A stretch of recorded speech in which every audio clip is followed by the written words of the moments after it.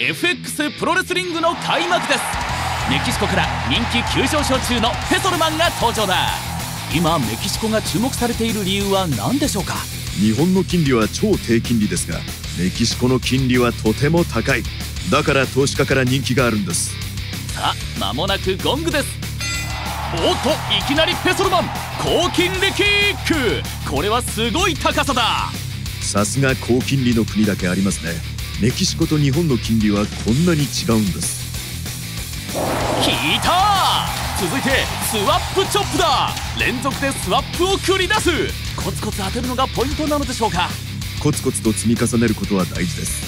通貨の金利差から得られるスワップポイントは原則毎日もらえますからね。これは痛い。